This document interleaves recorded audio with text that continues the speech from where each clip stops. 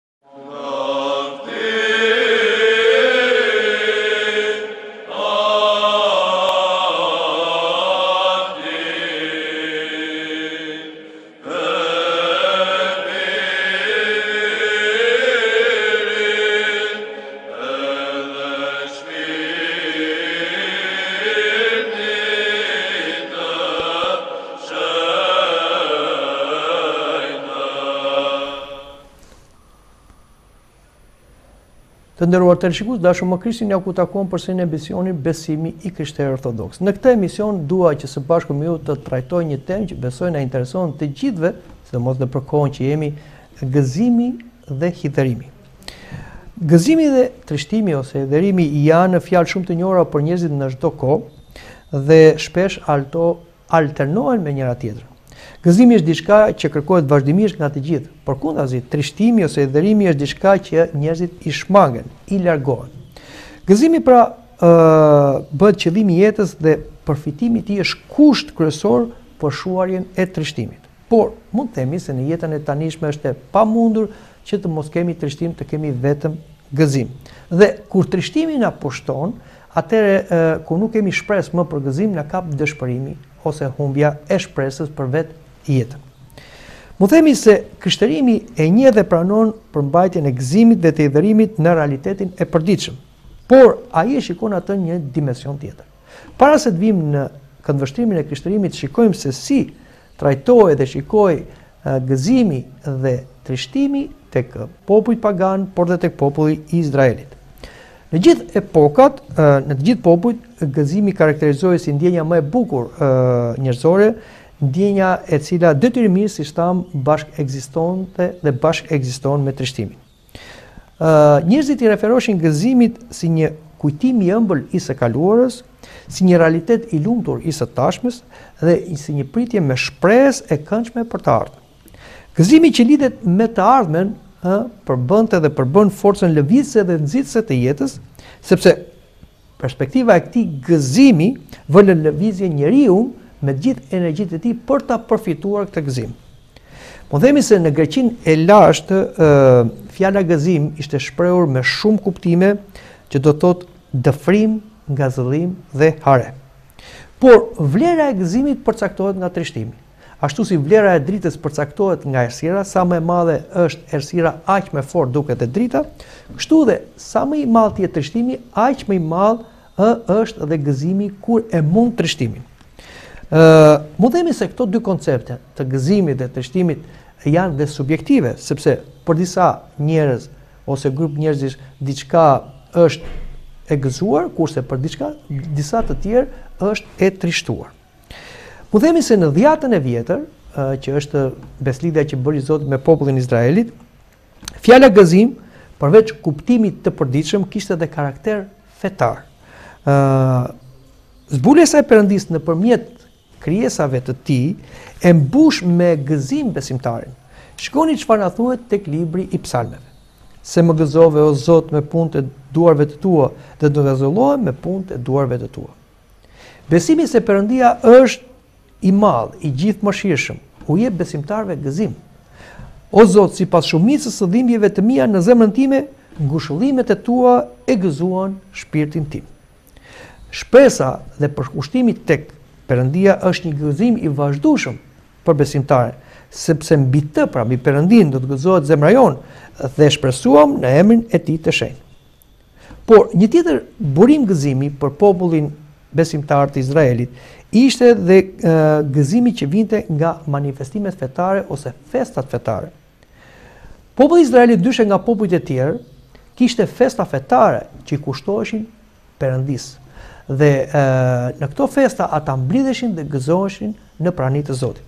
Festa më kryesore e Izraelit ishte Pashka, e cila ishte një festë që zgjaste gati shtatë ditë. Dhe ata mblidheshin dhe gëzoheshin për kaq ditë në këtë festë. Shikoni çfarë thuhet tek libri i Kronikave. Kështu bijtë e Izraelit që ishin në Jeruzalem kremtuan festën e të ndormëve ose bukëve pa brumë, shtatë ditë me radhë me një atmosferë gëzimi të madh, kurse levitët dhe priftërinjtë lëvdonin çdo ditë Zotin, duke i kënduar me vegla tingëlluese atij.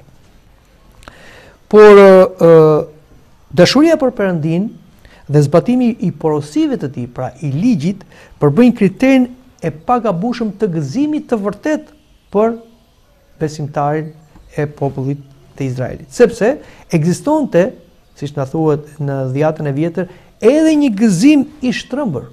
Shikoni çfarë thuhet te fjalët e urta. Gëzohen kur bëjnë të keqen dhe ndjejnë kënaqësi në çoroditjen e njeriut të keq. Këtu fjalët e urta na flet për njerëzit mëkatarë, të cilët nuk gëzoheshin për ligjin e Perëndisë, për porositë e Perëndisë, për të bërë të mirën, por me një gëzim satanik, diabolik, ata gëzoheshin për të keqen. Koncepti i gëzimit ka dhe dimensionin eskatologjik në Dhjatën e Vjetër, sepse populli i Izraelit priste një gëzim, ë, ku gjithë natyra dhe njerëzimi do ripërtërihej në kohën e Mesias, ashtu siç na thuhet dhe tek profeti Isaia. Mund themi se në Dhjatën e Vjetër koncepti i gëzimit bashkekziston me konceptin e trishtimit. Ë, zakonisht Por t'u theksuar ndryshimi i dy termave, ë që do të thotë ata gëzoheshin kur ecnin në praninë e Perëndisë, ose në të kundërtën ata trishtoheshin kur largoheshin nga Perëndia. ë Dhe besimtari përpiqej që atë trishtim, të cilën ata e humbisnin për shkak të mëkateve, Ata kërkonin që Perëndia t'ia u rikthente atyre me anë të pendimit. Ktheje vajtimin tim në gëzim, e grise thesin tim dhe më ngjesh me ngazëllim. Ë, mund themi se në letërsinë antike greke, trishtimi tregon trysninë e fuqishme, vuajtjen, torturën dhe hidhërimin. Po ashtu, edhe në dhjatën e vjetër, trajtohet trishtimi dhe përdoret kryesisht për të përcaktuar peripecitë dhe vuajtjet e popullit të Izraelit gjatë gjithë historisë së tij. Dhe të gjitha këto vuajtje ishin pasojë e dënimit të Perëndisë, një dënim pedagogjik, kur populli i Izraelit rebelohej dhe i largohej ligjit dhe vullnetit të Perëndisë. Prandaj tek profeti Nehemia ne lexojmë, prandaj ti i dhe në duar të armiqve të tyre, që i shtypën, po në kohën e fatkeqësisë së tyre ata klithën tek ti dhe ti i dëgjove nga qielli dhe ti me dhembshurinë tënde të madhe u dha atyre disa çlirimtarë që i shpëtuan nga duart e armiqve të tyre. Mund themi se në dhjatën e vjetër, ashtu si gëzimi, edhe trishtimi ka karakter eskatologjik. Dhe i referohet gjykimit të fundit, ditën kur Zoti do vijë për të gjykuar të gjithë njerëzit. Dhe ajo do jetë një ditë trishtimi, hidhërimi dhe zemërimi për gjithë mëkatarët dhe të pabesët. Dhe kjo theksohet shpesh në librat e profetëve, ë dhe do jetë dita e zemërimit të Perëndisë dhe dita e hidhërimit të pashmangshëm, siç thashë, për mëkatarët. Por koncepti i këtyre dy fjalëve, gëzim dhe trishtim, të cilat na u prezantuan si tek popujt paganë, por dhe te populli i Izraelit, në dhjatën e re ose në besëlidhjen e re që bëri Zoti me jo vetëm me popullin e Izraelit, por dhe me gjithë popujt nëpërmjet Isu Krishtit, ekziston një tjetër dimension si i gëzimit edhe i trishtimit. Apostull Pavli e ka trajtuar gëzimin në letrën e drejtuar Selanikasve që quhet dhe letra e gëzimit. Gëzimi i Pavlit nuk ka funksionin e përkohshëm, domethënë në kornizat e botës së tanishme, por shtrihet edhe në të ardhmen. Përmbushja e gëzimit pritet në ardhjen e dytë të Zotit. Sipas apostull Pavlit, gëzimi e ka burimin tek Perëndia. Ja çfarë thotë ai në letrën e drejtuar Selanikësve. Sepse çfarë falënderimi mund t'i japim Perëndisë për ju, për gjithë gëzimin me të cilin gëzohemi për ju përpara Perëndisë sonë natë e ditë, duke u lutur shumë që të shohim fytyrat tuaja dhe të plotësojmë të metat e besimit tuaj. Sipas apostull Pavlit, gëzimi është i pari njohës i mbretërisë së Perëndisë, sepse mbretëria e Perëndisë nuk është të ngrënë e të pirë, po drejtësi e paqe dhe gëzim në frymën e shenjtë. Po ashtu, apostull Pavli në letrën e drejtuar Galatasve, Galatasve na thotë se gëzimi është fryt i shpirtit të shenjtë. Dhe fryti i shpirtit të shenjtë është Dashuri, gëzim, paqe, zemërgjerësi, ëmbëlsi, mirësi, besnikëri, butësi dhe vetëpërmbajtje. Por, gëzimi përveçse është eskatologjik, ka dhe karakter kishtar, domethënë, bashkon nëpërmjet Krishtit besimtarin me njëri-tjetrin dhe me Perëndinë. Një shoqëri e cila me siguri të çon drejt gëzimit të përjetshëm të shpëtimit, Kjo dashuri u lejon të gjithëve duke qenë në pritje të shpëtimit të përjetshëm të përballojnë me guxim hidhërimet dhe përndjekjet e kësaj kohe. Themeli i kësaj dashurie është dashuria e Perëndisë për njeriun dhe për kishën. Kulmi i teologjisë së apostull Pavlit mbi gëzimin është fraza, Gëzoni gjithmonë në Zotin. Domethënë, ai këshillon besimtarët e sapondriçuar të jenë të gëzuar dhe gjatë vështirësive të shumëllojshme, ë, ë, gjatë reagimeve, gjatë përndjekjeve dhe përbuzjeve që vijnë nga mjedisi i tyre ku ata jetojnë, sepse ata janë besimtarë të krishterë dhe presin, ë, ë, ardhjen e lavdëruar të Zotit pra ardhjen e tij të dytë. Dhe ë apostull Pavli thotë të gëzohemi në të gjitha situatat, edhe atëherë kur kemi përndjekje dhe tortura. Dhe ai këtë nuk e kishte thjesht si një filozofi, por ai e zbatonte në veten e tij. Sepse kur i shkruante këto letra apostull Pavli ishte i burgosur, ishte e i arrestuar. Pavli këshillon selanikasit të përballojnë me gëzim edhe këtë hidhërim, i cili ishte një situatë e vazhdueshme në atë kohë për të krishterët. Ne duhet të dimë se të krishterët që kur nisën, ë, ata kishin një përndjekje në fillim nga judejt, pastaj nga romakët dhe kjo përndjekje zgjati 3 shekuj, pati një kohë paqe, po përsëri krishterimi gjatë gjithë kohës, edhe në këtë kohë e deri në fund do të jetë i përndjekur nga forcat e errëta. Kështu që të krishterët asnjëherë nuk duhet të mendojnë se duke besuar në Krishtin do t'i shmangen trishtimit dhe hidhërimit. Dhe po të shikojmë në gjithë dhjatën e vjetër, ne do të shikojmë se sa ka janë munduar të krishterët. Mbi të gjitha vetë Zoti Jezu Krisht, i cili ishte i pari që vuajti, u mundua, njeriu i dhimbjes dhe u mundua deri në kryq, pastaj apostujt, pastaj të gjithë besimtarët dhe të gjithë shenjtorët gjatë gjithë historisë së kishës janë përndjekur. Shikoni çfarë thotë vetë Zoti Jezu Krisht. Në botë do të keni shtrëngim, por kini guxim. Unë e kam mundur botën. Dhe në një vend tjetër ai na thotë: E ngushtë është dera dhe e shtrënguar është udha që të çon në jetë, Dhe ë përsëri në librin e veprave të apostujve na thuhet, me shumë shtrëngime do të hyjmë në mbretërinë e Perëndisë. Në një pasazh tjetër apostull Pavli thotë se besimtarët duhet të mburren dhe në shtrëngime. Dhe hidhërimet sigurisht nuk janë qëllimi i kishës. Nuk është dëshira e Perëndisë dhe e Kishës t'i drejtojë njerëzit në trishtime. Por është e pamundur që në këtë botë ku sundon e keqja, mëkati, padrejtësia, të mos kemi trishtime. Ë dhe, siç e thashë, dhe vetë Zoti Jezu Krisht pranoi dhe vuajti trishtime dhe hidhërime dhe pastaj, mbasi i kaloi, ai u ul në të djathtë të fronit të Perëndisë. Sigurisht për njeriun nuk është e lehtë që të përballojë situata hidhëruese dhe trishtuese. Ë, por kjo pavarësisht se është e vështirë, nuk është e pamundur. Ë, sepse ekziston një element, sidomos për ne të besim, besimtarët e krishterë, që mundet ta kalojmë hidhërimin dhe trishtimin.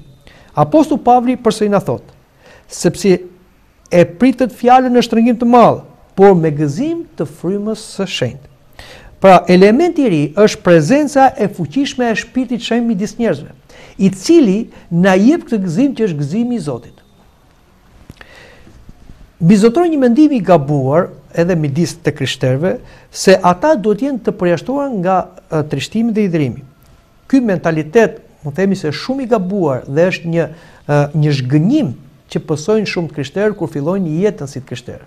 Në fillim ata kanë një ngazëllim që u jep dhe Zoti për të parashijuar gëzimin në Zotin dhe të mbretërisë së Zotit. Por për t'i provuar ky lloj gëzimi që vjen nga hiri i Shpirtit të Shenjtë largohet dhe pastaj vijnë provat, hidhërimet, ë dhe trishtimet. Dhe ata të krishterë, të cilët nuk e kanë kuptimin e vërtetë të rrugës së ngushtë të besimit, Ashtu si Zoti tha kush do të vijë mas meje të mohojë veten, të marrë kryqin e të më ndjekë, ata duke u zhgënjyer, ë largohen nga rruga e besimit. Ë duhet të dimë se ë trishtim nuk kishin vetëm të parakrijuarit para se të binin në mëkat dhe nuk do kenë ata që do kalojnë në mbretërinë e Perëndisë. Kurse të gjithë njerëzit që vijnë në këtë jetë, edhe besimtarët e krishterë, edhe ata do kenë trishtim. Por, ka një dallim. Mëkatarët të cilët nuk do besojnë tek Zoti Krisht, nuk do pendohen, do mbeten në trishtim të përjetshëm, kurse besimtarët e krishterë të cilët do besojnë tek Zoti Krisht dhe do bëjnë një jetë sipas porosive të tij, ata do ta kalojnë tutje trishtimin e kësaj jete për të hyrë në gëzimin e përjetshëm.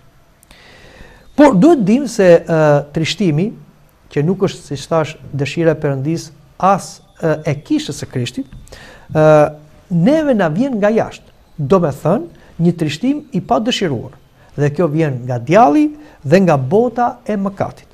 Ë dhe neve nuk prekemi kur këto trishtime na vijnë nga jashtë. Por mund të themi se fatkeqësisht neve jemi bashkëpunëtorë në këtë lloj trishtimi, se për shkak të pasioneve, mëkateve, dobësive dhe të gjithë pakujdesisë sonë, ne biem në trishtimin që na sjell djalli dhe bota dhe e fusim brenda vetes sonë.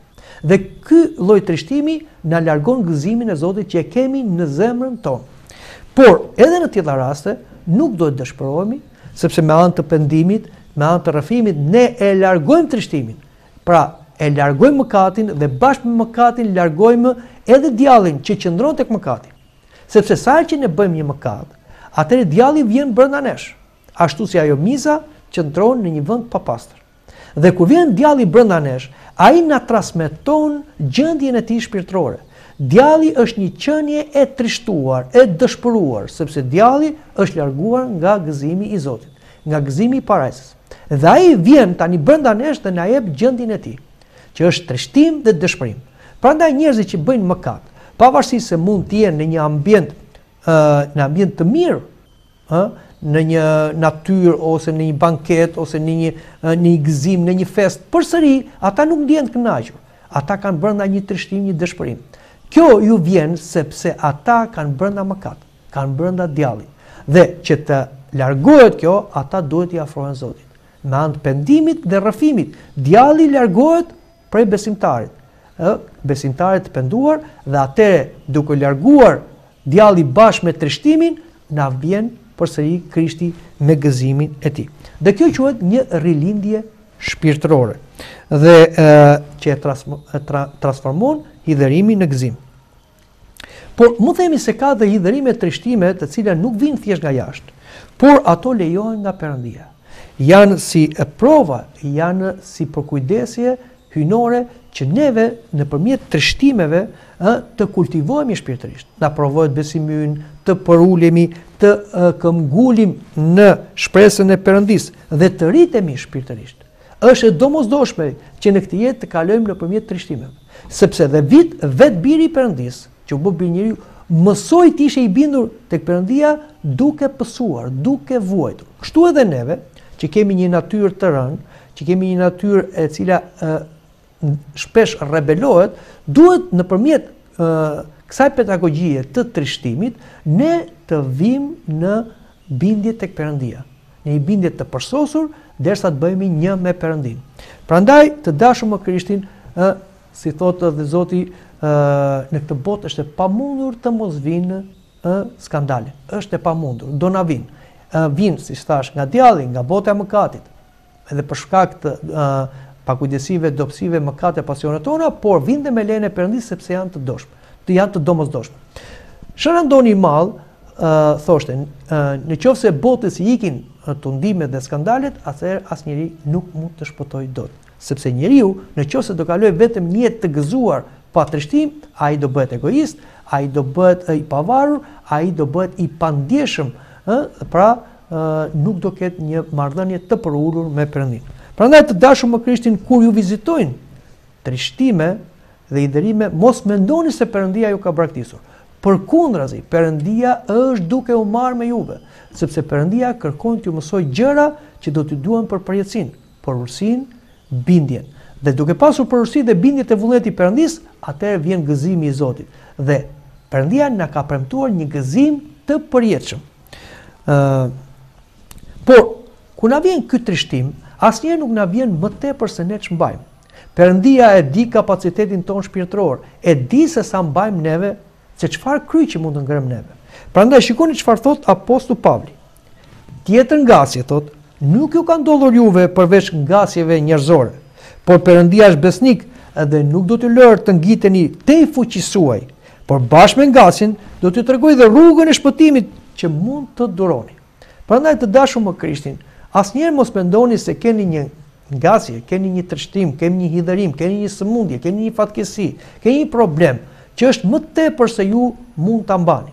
Perëndia është një rregullator i përsosur. Asgjë nuk ndodh pa lejen e Perëndisë.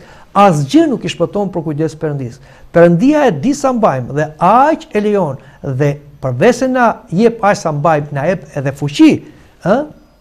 për të mbajtur atë dhe na jep dhe zgjidhjet e problemit tonë. Por Apostull Pavli thotë gëzoni gjithmonë në Zotin. Dhe mund të themi se krishterimi është feja ë që ka mbi të gjitha gëzimin. Vetë lajmërimi i foshnjës Perëndi-njeri, Zotit Jezu Krisht, ishte një lajmërim gëzimi nga engjëjt. Shikoni, ja tek po ju jap juve lajmin e mirë, një gëzim të madh, sepse për ju ka lindur Krishti, Shpëtimtari. Prandaj, ardhja e Krishtit në botë solli gëzimin tek ata që e pranojnë atë. Dhe mund të themi se vetë Zoti Jezu Krisht ë në lumërimet e tij thotë, të lumur jeni juve, gëzohuni dhe ngazëllohuni, se një shpërblim i madh ju pret në qiell. Prandaj, gëzimi është një lumturi e përjetshme, është një premtim i Zotit që do na japi atë.